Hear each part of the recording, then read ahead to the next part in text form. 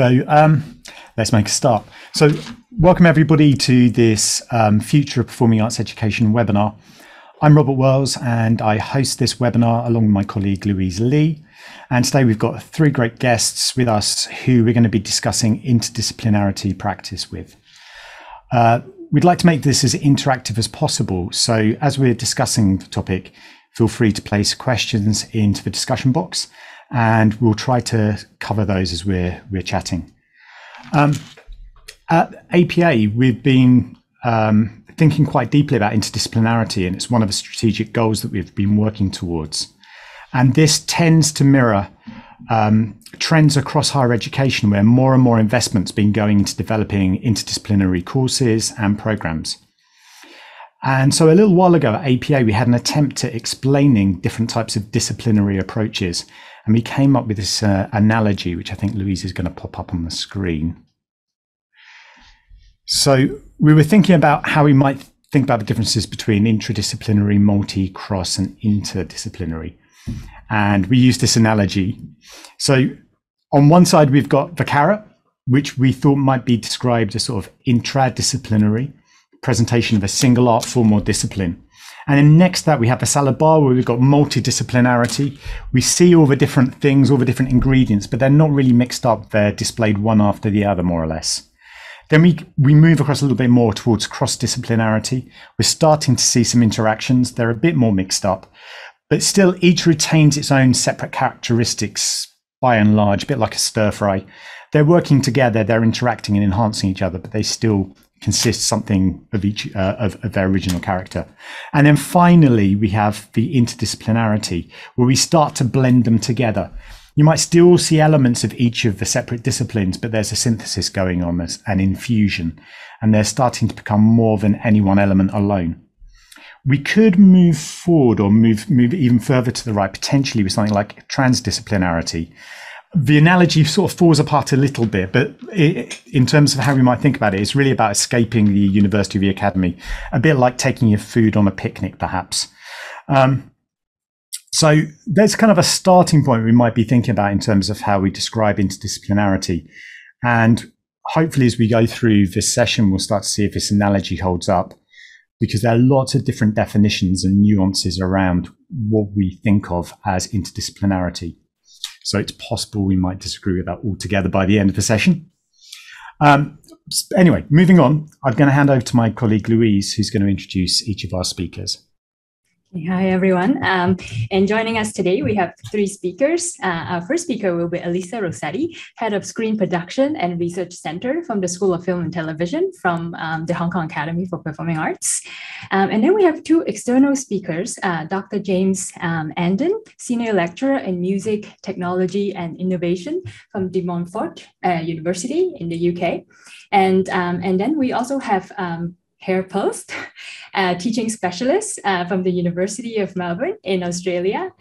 Um, and in terms of the structure of our webinar, um, our speakers will start with a brief introduction on the topic of interdisciplinarity. Um, and following the discussion, the speakers will take questions from the audience. And once again, please feel free to put your uh, questions in the chart. We'll be monitoring the chat as well. So uh, without further delay, I'm going to pass the mic to um, Elissa. Oh, that was that was quick. Okay. um, hi everybody, and thank you to everybody for joining us. Thank you to our speakers. I can't wait to get into sparring with you guys. Um, for the audience at home, um, we started chatting on email, and we've had a bit of um, a contretemps, as we say. We've had a bit of a fisticuffs out already, um, talking about uh, what it is uh, interdisciplinary, and a lot of really stimulating discussions. So. I mean, I will just kind of briefly introduce myself. Um, and um, I did throw together a couple of slides, but I wasn't really going to use them. I maybe I will, because um, I'm really interested in getting into discussion with Hare and James uh, quickly.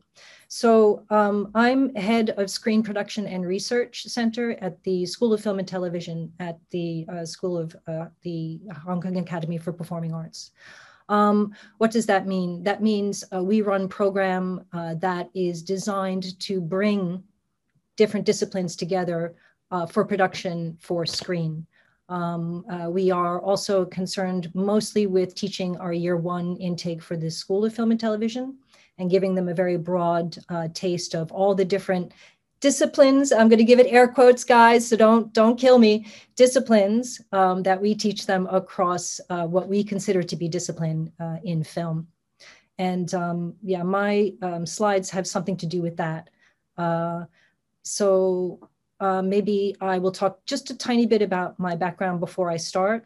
My first discipline was in dance. Um, i was a professional dancer in my first life. Um, so i danced for alvin ailey um, Alvin Ailey, um, the Ailey 2 company, um, takes Ailey's seminal work and brings them on the road nationally. So, as a dancer, um, I considered my background multidisciplinary because we had to be um, very um, conversant in several different types of, of uh, dance. Uh, we had to be good in ballet, we had to be um, proficient in different contemporary techniques, and we also took African.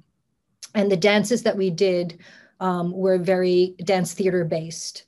Uh, so I think um, from that, my background is already one of um, crossing disciplines within the body politic that is that is me.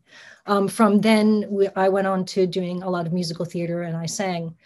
Uh, musical theater is also uh, in my in my heart of my my practitioner's heart, I consider it a kind of a well, we'll, we'll talk about the different definitions, but um, multi, cross, trans, interdisciplinary.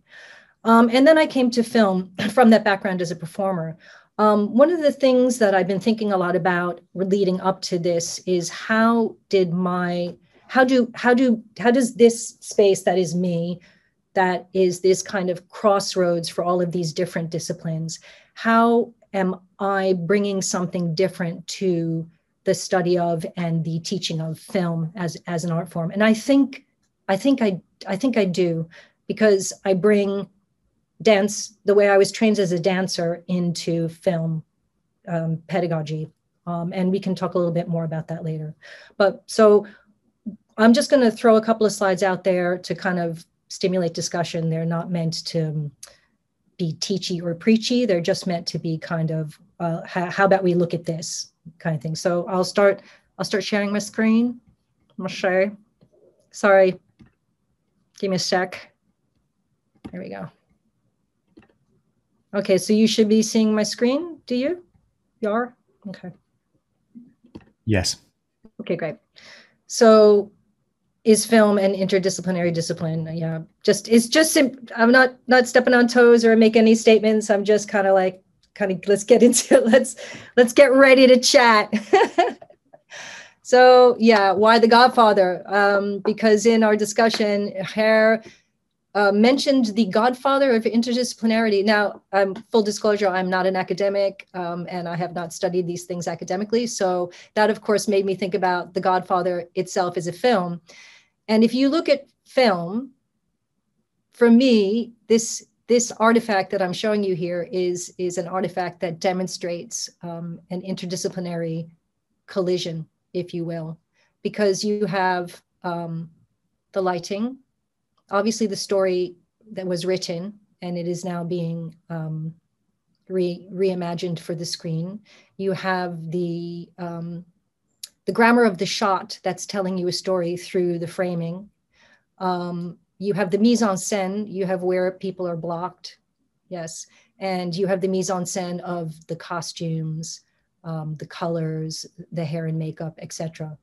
They're all telling you, they're they're all in service of coming together to make that bone broth, that soup, that, uh, and and and I'm ready to discuss whether this is. Um, transdisciplinary or not in the definitions that we are uh, about to bat about. From my end kind of futilely because i don't really to be honest i don't really care. I don't really mind about if it's interdisciplinary if it's not interdisciplinary and all this stuff. I, I for me they're they're terms. They give us something to talk about and chew on.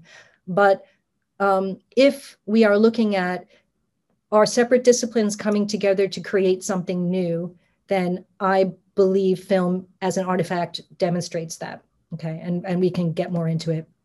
This is the scene at the end of the um, spoiler alert. Please close your ears if you haven't seen The Godfather. James is laughing. Of course, you've all seen The Godfather. This is the end, is extremely powerful scene where um, the wife realizes that uh, Michael has now become one of one of the family, the family that they've resisted joining this for the entire uh, film when um, the the door gets closed literally in her face. So I'm not going to play you that, but you can refer to the final scene of The Godfather. Um, I wanted to throw some um, some ideas about what we do in the Screen Production Research Center. Now, I hope that this is uh, not going to give you sound because I kind of want to talk over it good. Um, this is an example of something that we were doing um, on the Soundstages Screen Production and Research Center. This is a um, VR project. Uh, what you see here is a kind of busy set with the, the director who is prepping her actors in this corner, and everybody else is kind of working towards what's about to happen. Okay. Um, here you have, uh, again, busy set. The director here is speaking with her producer.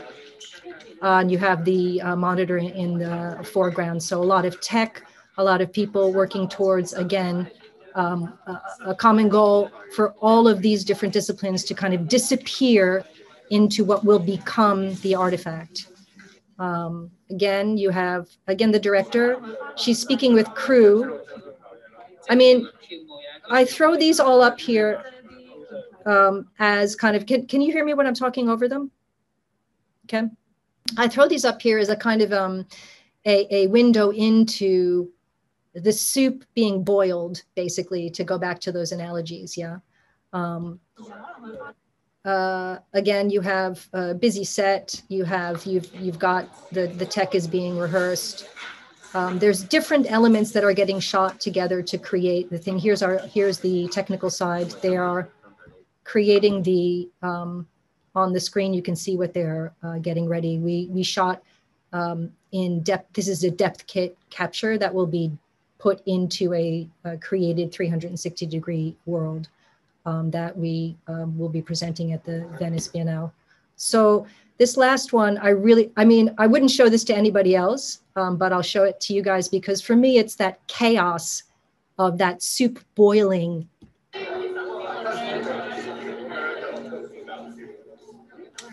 You can see the dancer in the background, like almost unimportant, kind of preparing, but he is actually the focus um, of what is about to go down.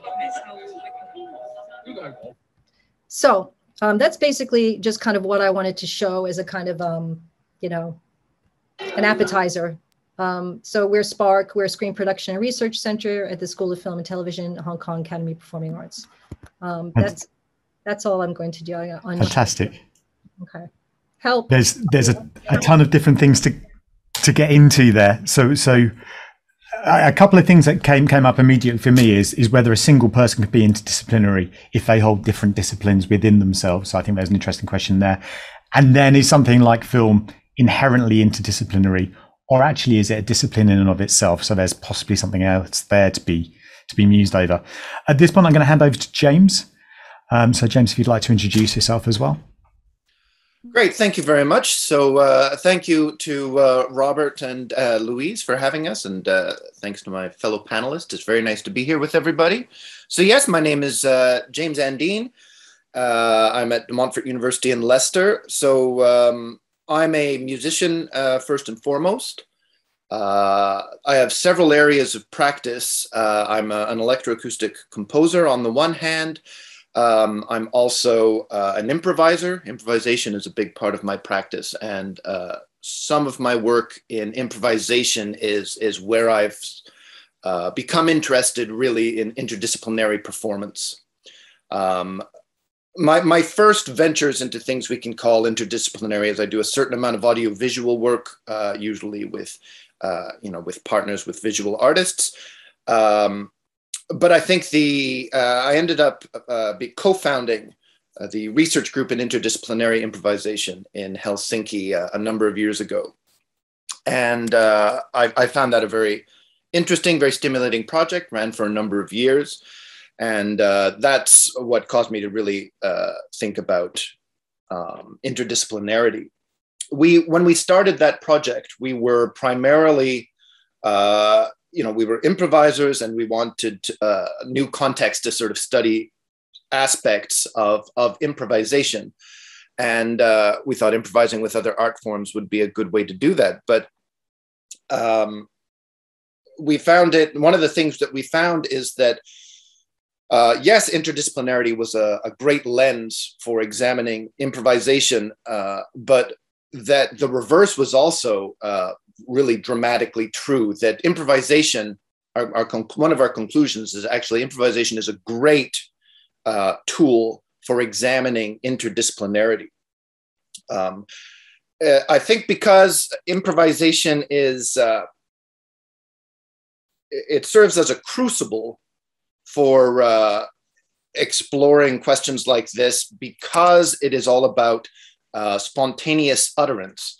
So as soon as you've got multiple people on stage uh, co-creating, communicating in real time, it's uh, I think one of the really the best fora for uh, for revealing process and being able to examine and study process. Uh, so that's uh, yeah, that's what sort of led me uh, led me here, I suppose.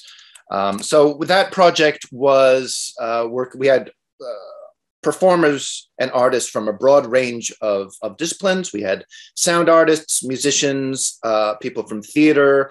Uh, we had people from studio art, so drawing and painting, uh, performance artists, dancers, film and video. Uh, so sort of you name it, they were they were involved there.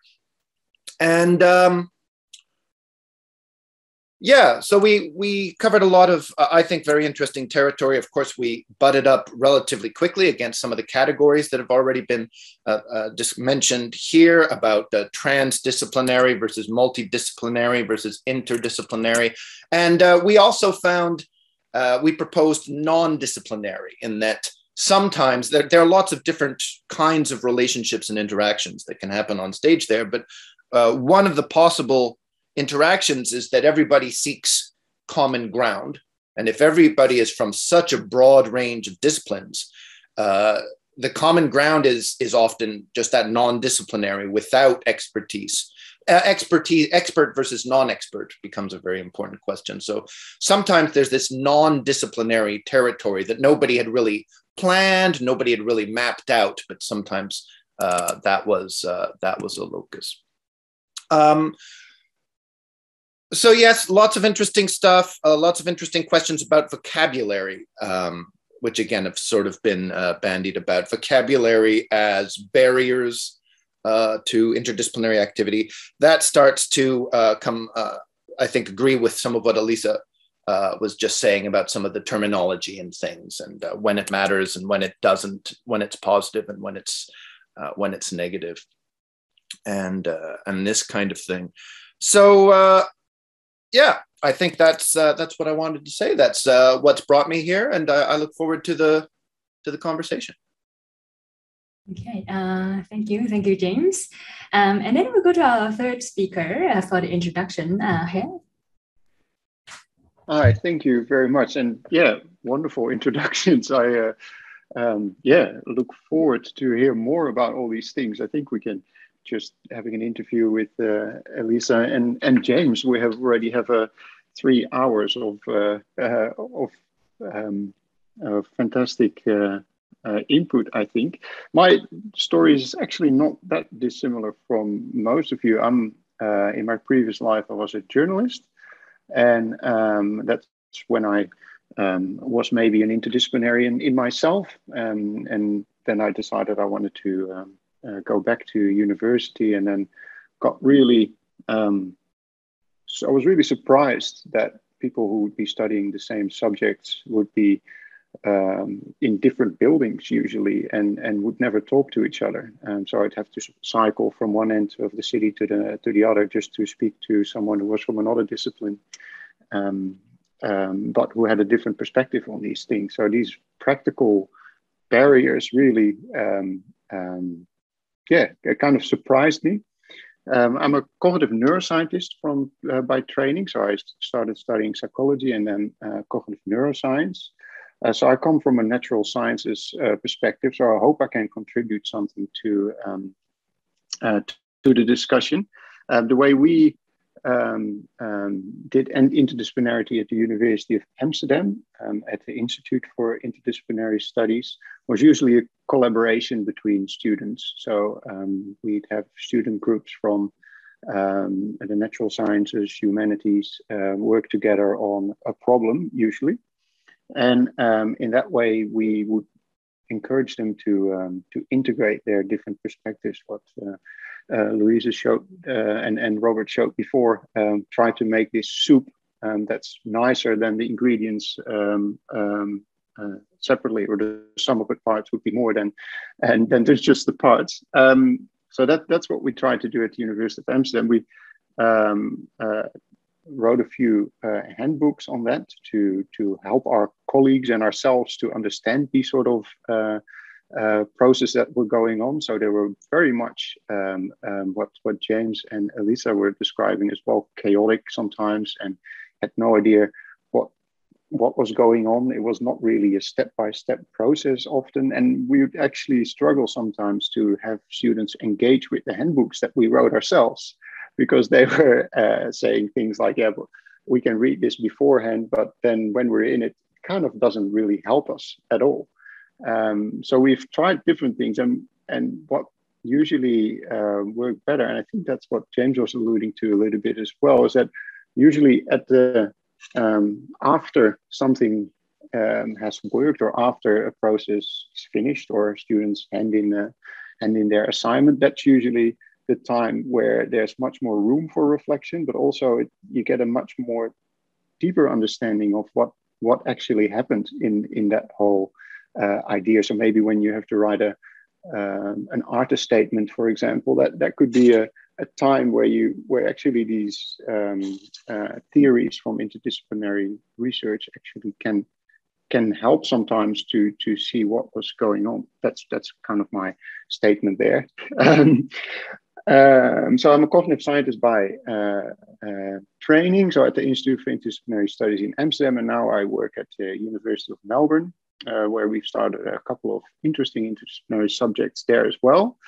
Um, one is Humans 2.0, so where we uh, um, kind of study um, bio- biomedical advancements such as uh, gene editing and study them from all sorts of disciplines. So these, these are ways, these subjects are ways to bring these people from all these different buildings in the city together to see if we can come to a common language uh, and, and understand each other. That's usually the first uh, uh, thing that we try to do. And then see if we can come to a uh, to some sort of common ground or, or maybe an integrated uh, perspective on, on these biomedical advancements. Um, and um, uh, to continue on that uh, uh, collaboration, that's the last thing I'll say. Uh, uh, path is I'll, I'll start a, a, PhD to explore explore that further because um, in in our science disciplines, at least, critical thinking is still um, seen as something that you do by yourself. Um, you write your essay and you hand it in, and that's that's your that that's that's why you show your critical thinking. But in practice, um, usually that's not the case. So in practice, you have multidisciplinary teams in a hospital come up with a patient treatment plan, for example. We here we have the COVID team with people from all sorts of disciplines needing to come together to come up with one plan. Um, so my um, research project will be uh, studying that what um, collaborative reasoning is and um, whether it actually helps to put a lot of people together that are really good critical thinkers or whether maybe other skills are much more important to um, um, yeah to put together maybe other soft skills that maybe we'll talk about later as well are, are much more important when you come into these uh, sort of collaborations um, those are i think a few things about me um, i'm happy to uh, great move on That's fantastic. Thank you, um, all three of you, for your introductions. They're amazing. Um, let's get straight into questions and um, let's jump straight in at the deep end, I guess. Uh, something James said about language, and we've got a question here from Zhang Mi, where she was asking, uh, they're asking, what's what differentiates cross art and interdisciplinary collaboration? And it struck me that very often, particularly in performing arts, we describe um, interdisciplinarity almost interchangeably with collaboration. And are, are the meanings of these words important? Are they something we need to sort of hang on to, or perhaps they, they are more of a hindrance? I don't know. Let kind of open that up for discussion, I guess. I don't know. If somebody wants to jump in. Well, I think I, I agree with Elissa again. I think that w- the ideas are are obviously very important. Uh, the terminology is uh, in, is supposed to help us, uh, you know, communicate and, and, talk about these ideas. But uh, if we uh, insist too heavily on on on them as as definitions, then I think that can that can get in the way. Um, yeah, multi- multidisciplinary, interdisciplinary, uh, you know, et cetera, et cetera. The, I think what's fundamental is that there are, are different ideas. There are ideas of, of, I mean, the basic one for us, I guess, is people from different discipline in, disciplines working in their individual disciplines, but doing it together, versus people from different disciplines sharing their disciplines. Everybody operating in potentially in multiple disciplines simultaneously. So that's a fundamentally different idea, and that's important. And uh, I think sometimes we get tied up in knots about what we want to call each of those things and end up debating the nomenclature rather than, uh, you know, getting on with the actual subject matter. But I think that distinction, I think, is very important, certainly, regardless of what we call it. I, yeah, I'm not sure. Is it important? Okay, so um, yeah, I can see how the theories help.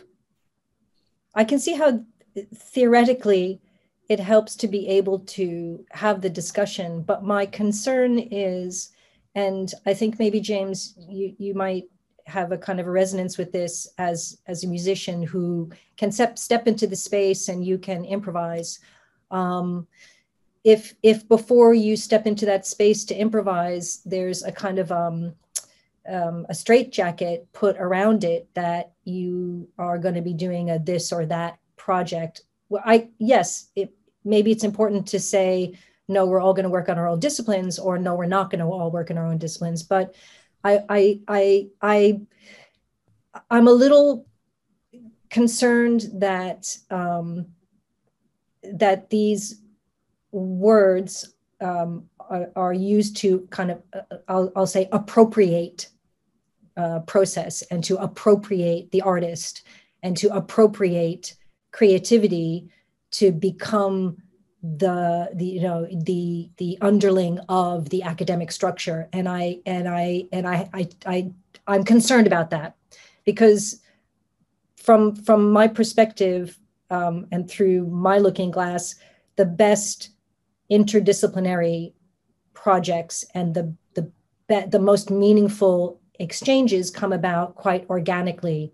You, it's very difficult to dictate to a bunch of people. If you if you if you want artists to not work together, you tell them to work together. They're not going to really work together. They'll just pay you lip service. But if you kind of get out of everyone's way about talking about if it's interdisciplinary or not and just let it happen, things will happen. Like I'm sure, I mean, I'm not sure, but I'm assuming, James, that you kind of got to where you are from studying a discipline and that you became so well so proficient in that you were able to then improvise in it and then you branched out to wanting to work with other people and then that kind of organically evolved. You, it, I, I, mean that's how i see it from my perspective yeah.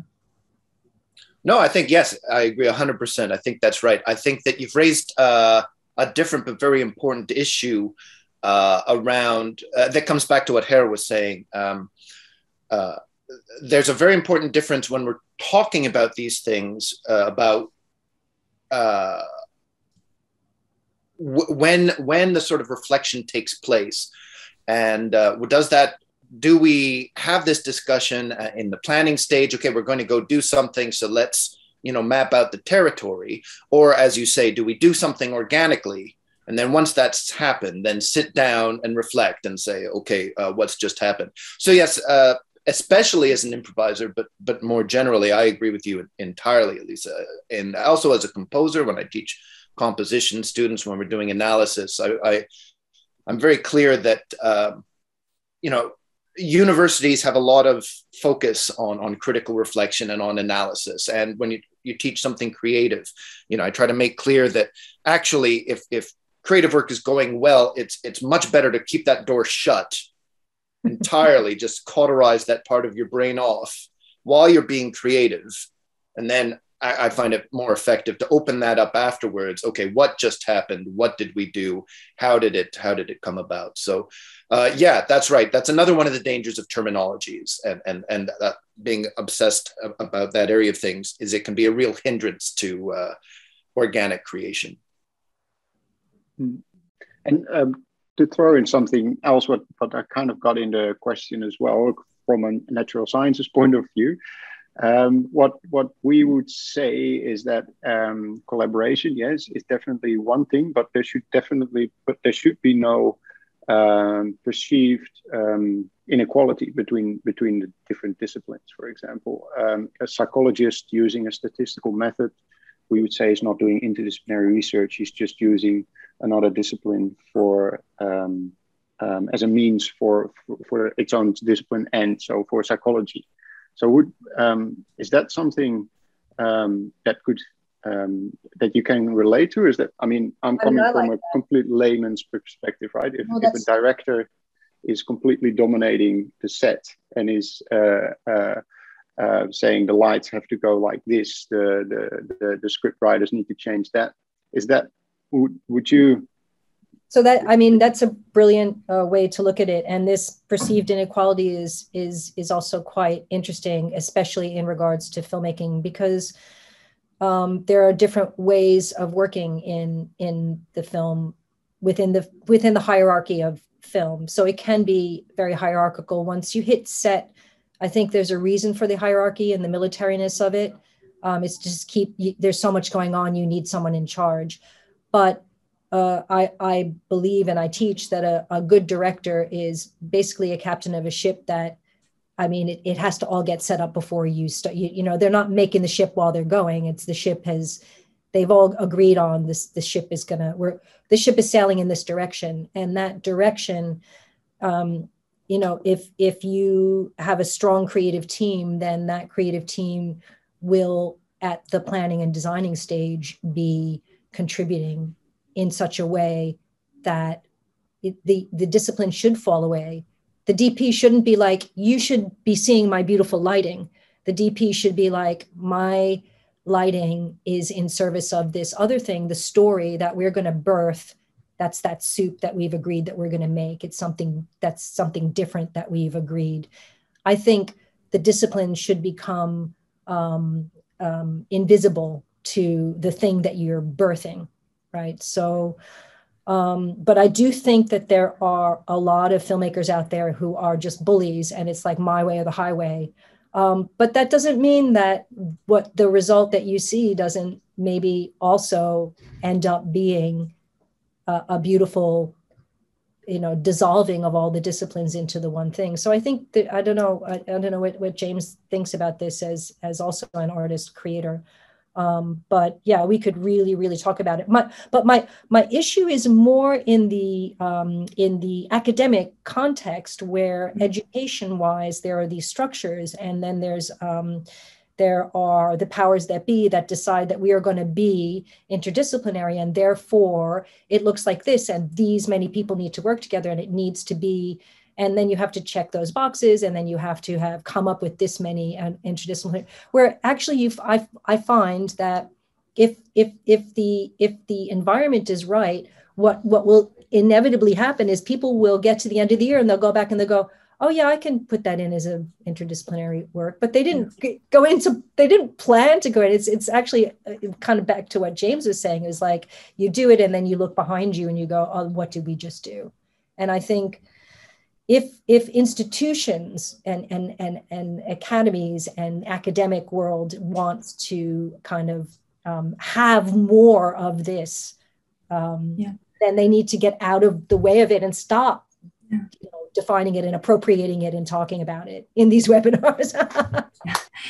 at least, at least I think, I think, yeah, like I agree with you that like filmmaking is is um, you know is this this this this place where kind of different disciplines come together. But I kind of I, I want to kind of stick closer to the academic def- definition, you know? So is it just collaboration? So for example, if I'm a sound designer, other people are just doing their thing. So I, I, I don't know the lighting, it looks nice. I don't really care. I'm not, I'm not, you know, so here earlier mentioned about collaborative, collaborative critical thinking or critical thinking collaborative, or people thinking from like kind of different frameworks, you know, and, and, and, and somehow to bring kind of different perspectives together um, sometimes I think of like business ethics, you know, when I study business, you know, before like before business ethics, you know, I only care about making money. And then when I study ethics, you know, all of a sudden I, oh, you know, human matters. And then when the, you know, two disciplines kind of sort of merge together, then okay, actually, you know, when I care about human beings, I can also make money. Like it's kind of like that kind of synthesis, right? So I'm just thinking, um, you know, in filmmaking, is that happening? Are the students that you show, for example, are they um, is it the product is interdisciplinary, but how about the process? Do they assess one another? Do they have that criteria to assess one another? Yeah, that's those those are really good points. So a couple of things there. So because and this goes back to one of the questions that I think we have that came in from the audience. Um, in this interdisciplinary push, is single discipline study important? And so I think um, in this case, there in, in terms of teaching, there's always this kind of push pull. It's a kind of, I think it's, Hare was talking about tension. There's always a kind of a push pull of you kind of have to get up to speed enough in the one thing to, to get it under your belt enough to then be able to take on board the next thing enough to see where those definitions are and then break them down. And I'm not sure if I'm answering you directly, but um, I'll take I'll go back to The Godfather. Um, so if if that when famously when the uh, the cinematographer was lighting The Godfather and those scenes were being viewed, the dailies were being viewed by the producers. They almost pulled the plug. I can't remember exactly what the story is. If someone out there is a cinephile and please don't kill me but um, the story goes that it was so dark that they couldn't see it and they wanted the cinematographer to make it brighter and you know and it, it, the, the the team refused the cinematographer refused and we have now this beautiful piece of cinematography in film. And why? Because that was the character. The character was in this dark place and they didn't want to reveal uh, too much detail on the face. They wanted that feeling. Um, so there was a cinematographer who was not actually doing their job technically um, but in the service of this thing that they were doing together, folded his his discipline into the service of the story. So the service of the the soup. I'll just keep saying the soup. so uh, how do we teach it? That's a problem because you um, you have to get to a place of of knowing enough to um, to be able to handle enough of what you do to to let it go. That's that's so so i mean james is probably i keep going back to you james i'm sorry but you've probably you know you probably uh, people think improvisation and and we had this in dance you know you think improvisation you just get up and kind of do whatever oh you're you're you're busting it out on the spot but actually obviously no you've obviously studied 10,000 hours to get to the spot where you can spontaneously produce and and so i mean i think sometimes what happens is we assume that people can get into a room and fold in and lose this and and the perceived inequality thing that Hare was talking about. So you you kind of you you assume in in uh, and oftentimes I see in institutions they say oh we're going to do interdisciplinary year one. It's always year one. it's like it's like no we we need to get up to speed to then be able to know that this is my lighting that I then release and surrender to so that it became become part of a of another thing. Did did I answer your question, Louise? I don't know if I answered it. I think I think dance is another uh, really good example, especially with with students. If you um, you know, we put uh, you know dance students and and music students together in a room and uh, to have them work together, and uh, it's it's guaranteed every time that the the dancers uh, think that the musicians are there to provide accompaniment. We're going to dance. We're going to tell you what we need, and you're going to provide it. Uh, to a lesser extent, the musicians sometimes think we're going to make some uh, music, and you're going to be our our dancers, you know, like in I don't know a music video kind of sense. And obviously, neither one of those is satisfactory in any way, and uh, it, it's surprisingly difficult to get them past that to to even to get the dancers to comprehend that no the musicians are not here to accompany you and that you're not here and nor are you here to both just go do your thing and then bring it together that you need to come up with something uh, together something uh, in this case i guess multidisciplinary. Uh, yeah that's surprisingly uh, uh, difficult so, um, so, James, James, can I just grab you for a second? So, um, so I grew up in the Alvin Ailey studio, where I mean, I was so blessed. Our musicians were such an integral part of what we did. So, yes, they were accompanists, but we had um, people, you know, banging on the piano, hitting the floor, using their voice. Um, and there, from the very beginning, there was a, there was a, a kind of a fostered um, idea that when you were moving, you were you were feeding. There was a definite feeding off each other. There, I mean, it was uh, you maybe you were working with more classically trained people i don't know but in in the way i grew up the musicians who played for class were so into playing that sometimes on their break they would join each other and they would come in and they'd be riffing especially in certain classes where you know there that that atmosphere was fostered and you know we were giving and they were giving. So sometimes we had three people you know we had in in, a, in one class just because they wanted to be there. So i think if you if if a dancer has grown up that way you might get more of it. But yeah i but i know what you mean yeah.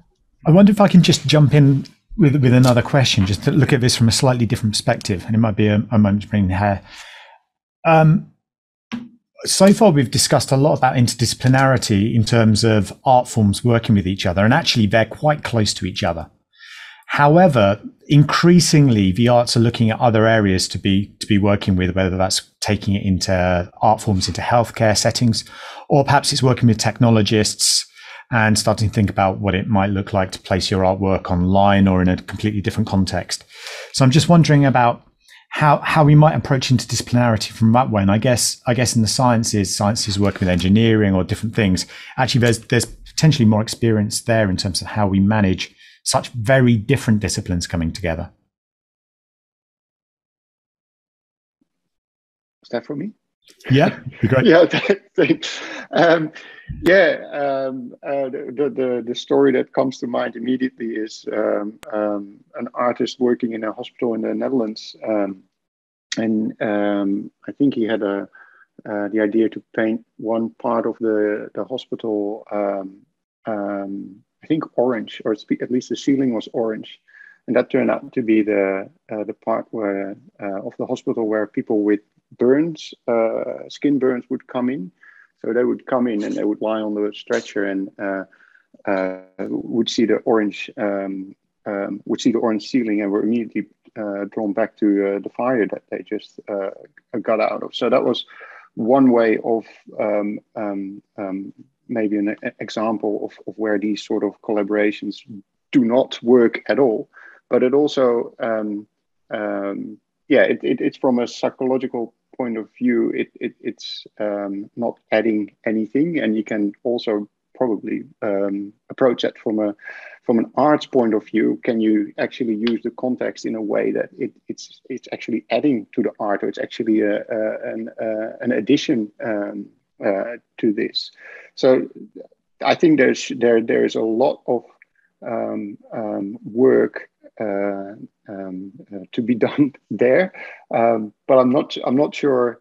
Um, it, it, it, it, will probably start with with uh, a conversation about the aim, what the aim of uh, what's the goal of of having um, um, art in in a in a situation like that or in a context like that um, do, do we want to have um, yeah is, is the, the idea to, to make people uh, healthy, to give them an, an, an experience, to to um, um, something like that. I'm not sure if I answered your question, but um, that was the first thing that came to mind. Uh, I think there's a, uh, it, it draws to mind, uh, Robert's question draws to mind some examples that I think demonstrate Robert's right. Uh, you know, I, I was talking about if we talk about the gulf between musicians and dancers, Robert's absolutely right. That's actually about as close as, as things get. Uh, and as you go further, you know, afield, further apart, uh, the risks, some of the risks we've talked about, get exponentially greater. Uh, so I can think of examples, for example, where uh, research projects that brought together a musician and a neuroscientist uh, to to examine something. And I can think of uh, of a couple, or a zoologist and a, and a musician. There's another one where it's a lovely idea, but uh, the each each one potentially has significant preconceptions and possibly in, just incorrect preconceptions about uh, what's happening on the other side, which essentially, I think, in the examples I'm thinking of negates the results. Where, for example, the neuroscientist, uh, you know, uh, has an idea about what music is that isn't nearly broad enough, maps, uh, you know, uh, signals in the brain to, to music in a way that because there's something false right at the core, right at the start of it, the the findings I think end up being false. But maybe that's a, a partnership that's not uh, functioning properly because in theory maybe the musician should be the one who's who's solving that. But I do think uh, Robert's right. that the risks expand uh, quite a lot uh, the further the further apart you get. I wonder if there's something here here about the the context of what interdisciplinarity is for. So I know quite often it's talked about as a solutions based approach. So we have a problem. We think we can't fix it with a single discipline. So two or more disciplines work together to solve that problem. And that's quite a different space to let's put a neuroscientist or somebody in a room with a musician and see what happens. If we just randomly place those people together, there isn't necessarily a problem or an issue for us to be solving. And, and is the, is the in- inclusion of, a, of an issue important in interdisciplinarity, particularly if we're doing that kind of project, do we think? As a neuroscientist, I'm afraid I'm a bit more skeptical about the neuroscientist actually not trying to solve problems because he or she is probably thinking about grants and is trained in such a way that um, um, they immediately start to uh, think how can we produce knowledge uh, with this collaboration. So I think um, um it, it is yeah when you I think we uh, in interdisciplinary literature call it broad interdisciplinarity. It becomes immediately a conversation. It should become a conversation about assumptions and what what how do you see a human? Do you see a human as someone lying in a brain scanner uh, listening to snippets of music, or is it someone sitting in a theater uh, um, uh, experiencing music? That, these are fundamental uh, assumptions underlying uh, research methods, methods for neuroscientists and uh, probably underlying your um, ideas of, of, of, how people experience um, um, how people experience music. And when you start to integrate, you you should immediately um, um, talk about these things. Otherwise, you'll have a very superficial um, um, interdisciplinary project that you can read about on any web page uh, anywhere in the world, really. Um, so it, if if it's done properly, you really come to the most interesting and fruitful conversations. I think about what what it is, what how, what what are we going to do?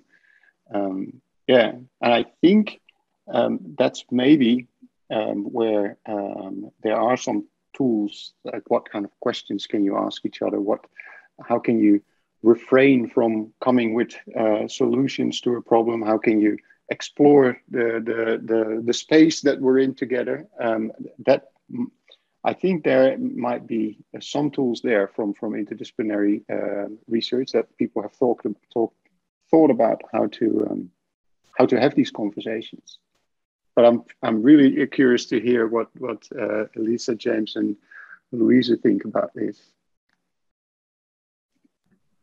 Um, so, I mean, I I really think it's important to when I, I I think it's I, I hear what James is saying that the the and and Robert is saying that as you get farther away, that that there's a kind of an exponential possibility of shall we call it misunderstanding for the sake of our argument?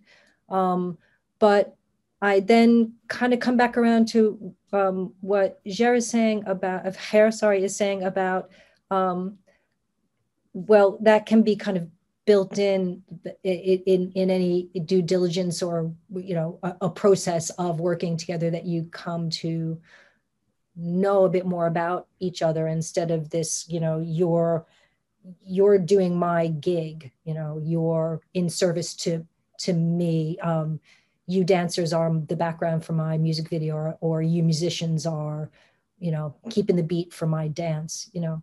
So yeah i think discussions like this are, are essential to to say to to realizing that oh yeah oh, oh, we're going to come in to this thing with with preconceived notions and so therefore yeah hang on that's true we do need to stop and take this much time you know before we start working um, inverted commas working. So I do think that it's important to have this kind of um, discussion. I also think that it's okay to get you know people from completely different worlds and have them not be able to kind of come together or not be able to do anything or not you know the solution or not solution. I think these are all valid. So saying we need a solution for a problem is valid and saying we're not really going to look at problem at all we're just going to come together and see if we can have a conversation or learn more about each other is is valid. I just think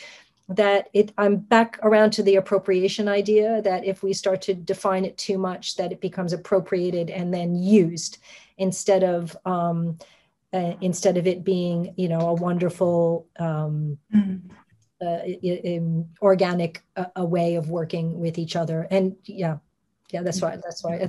James, what do you what do you think?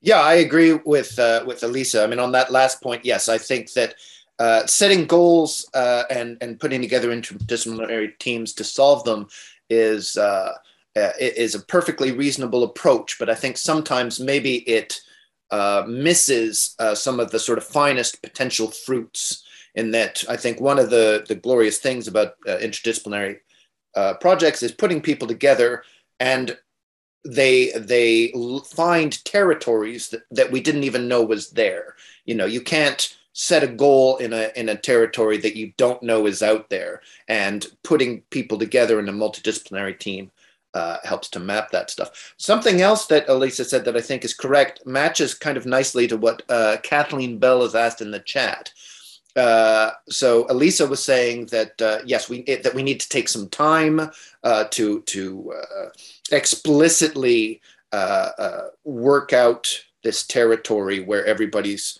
Uh, going to be comfortable working towards a shared goal. And in the chat, uh, this, uh, Kathleen has said, "I think there needs to be a lot of humility and healthy confidence to work in this way? How can we help to create a safe space where everyone feels that their ingredient is important, but the soup is ultimately the most important? Which I think is a really, really good question. And I think I, I don't really have it. Mean, it's in some ways the most important question. The uh, answer, I think, is basically what Elissa said it's time. Uh, but that's un- i mean it's unbelievably important but it's extremely delicate extremely subtle and extremely fragile so it does take a lot of time to create that safe space and for people to feel confident. And there's no getting away from the time it takes. I think it takes a lot of time for that to happen. Uh, and from my perspective as a performer, uh, and what I think is an interesting angle on that is you spend all this time creating a safe space where everybody's comfortable and you get to somewhere uh, really productive, but then you have to take that in front of an audience or you have to take that on stage, which in, in some ways is really not a safe space in, in some kind of ways. And how do you take this very fragile practice that requires this kind of security and then put it in front of a potentially hostile uh, audience? You know, they're not necessarily thrilled with what you're doing. And uh, that is, uh, yeah, that is complex. But I. So I, I, just, I agree. Oh, sorry, Liz. Sorry. Now so, I want to bring in one more question from uh, from that was sent to us um, earlier uh, from uh, Pamela Howard. Um, so this goes back to the education context, and so so Pamela said, "I'm usually the initiator of in this interdisciplinary creations, yet there is still negativity. Is this common? Um, is this common in your, in your discipline?"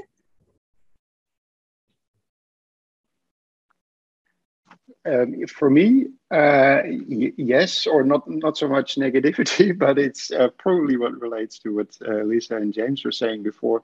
You would try to create a safe space, but at the same time, we're in education, so we need to assess people on something. So we need to come up with a with with something that we um, um, that, that that that that says you've passed the course or you haven't passed the course. So that's that's the tension uh, there that. Um, at least in, in, in the natural sciences, that's that's a big problem because uh, interdisciplinarity isn't uh, regarded as um, it, it's becoming a buzzword, but it's not regarded as highly as disciplinary research, um, citations, uh, um, grants. Uh, uh, so all these sort of things, and students know that, of course. So they're they're um, uh, drawn to interdisciplinary courses, but they also know that if they want to score high um, uh, on their exams, they should or or um, have a, a, a, um, bigger chance for a job. They better uh, stick within their discipline and become really good at um, a method, for example, that will get them a PhD or um, something along those lines.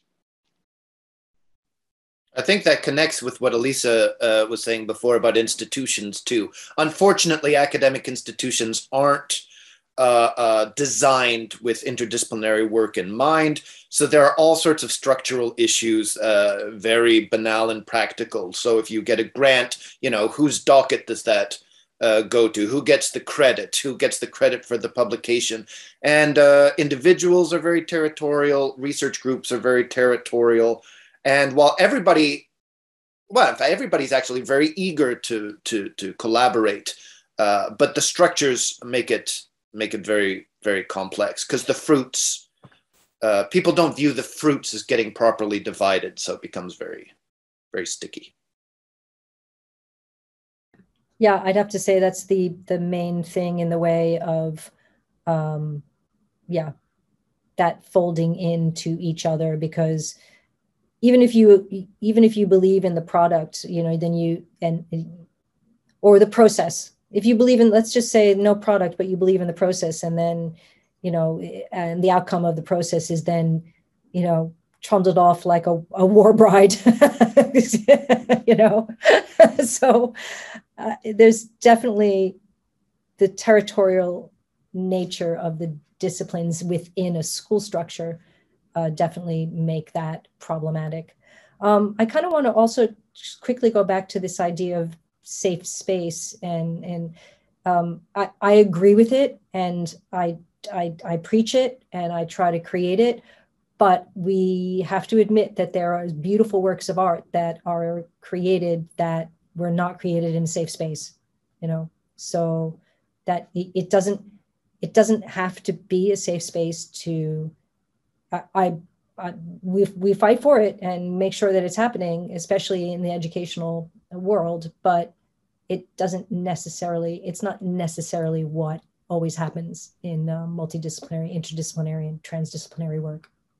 Yeah that's a good point actually. Like, as soon as you start to go out of your discipline like we're doing now it starts to become scary or or, or you feel this tension. So um, um, we we have uh, quite a few discussions about like the way subjects are um, um, evaluated here is that usually student perceptions are really important. Like if students like the course, that means that it's a good course. That's pretty much um, um, um the underlying uh, um, perception sometimes, uh, especially for, for a lot of educators. So there is quite a bit to say that sometimes you have to get out of your comfort zone to to do your best work. I yeah, I, I I completely agree. And that may not feel great or comfortable at the same time. Maybe not even when you do the student evaluation, but maybe later down the track, um, may provide something. Yeah. I'm it's been a really fascinating conversation. I feel like we could roll on for ages, but unfortunately, we're more or less out of time. Actually, I think we're over time as it is. So we're going to need to wrap this up a little bit. So I have have a final question for the three of you, which is: if there's one thing that's either struck you or that you'd like people to take away from our discussion, what would that be? I I I don't I don't want to I don't want to say. it's like I I don't I don't know. I have to think I have to um, I have to think about I I, I think time time and I need time to think about the answer. I don't like to to to kind of spout it out when I'm not sure. I think it's okay to take time. Yeah, there. Perfect. I can say what I will take away from it. Um, uh, I, I, really like the idea of uh, improvisation as a tool for examining interdisciplinarity. I really, uh, yeah, thought that was a uh, something I'd never thought about uh, uh, before, and it sparks all sorts of ideas. So um, I'll um, think about that and might reach out to James later to hear more about that. Um, yeah, interesting, very interesting idea, I think. That's very kind. Thank you very much, Hare. Um, I think yes. I think on the on the broad scale, what I think uh, it would be nice people take away is that uh, there that there's a lot of uh, of juice here. There's a lot of juicy stuff. It's a, it's a, it's a rich territory. There's lots to talk about, lots to think about, lots of perspectives. Um, if we wanted something more a, a practical uh, uh, single takeaway, uh, I think what we were talking about a, a few minutes ago about the the risks of uh, of setting a task before the process has started, uh, rather than uh, following the process to see where it where it might lead. That's not entirely. I think actually that's a broader question about academia and research generally. That's beyond uh, multidisciplinary work. Is is that uh, some of the best results come from having the opportunity to follow a process where it leads rather than setting a goal finding you know uh, setting the path to that goal and then and then following it through i think that's think that was a, that's an important point. I think just just the but those three points highlight how rich the conversation is. And to be honest i think we could do this again probably two or three times over and and, and still only just scratch the surface. So um yeah it's been amazing. Fantastic. Thank you um, for everybody who stuck around as an audience. That's really nice. Thank you for watching the webinar. Um, and I'd like to obviously say huge thank you to Hare, to James, and to Elissa for taking part. Um, and also a big thank you to the wider Eduit team who've worked on the technical and administrative aspects of this and putting the webinar together for us. So thank you everyone for your involvement. And just want to say that the, rec- the recordings for this webinar and also the past webinars, um, they're on our website. And I just shared the link on the chat box. Um, and our next webinar is going to be on student-centered learning. And it's going to be on Friday, December 10th. Um, so, and that's it for today. Goodbye for now and stay safe, stay well. See you next month. Bye-bye. Thank you, everyone. Thanks all.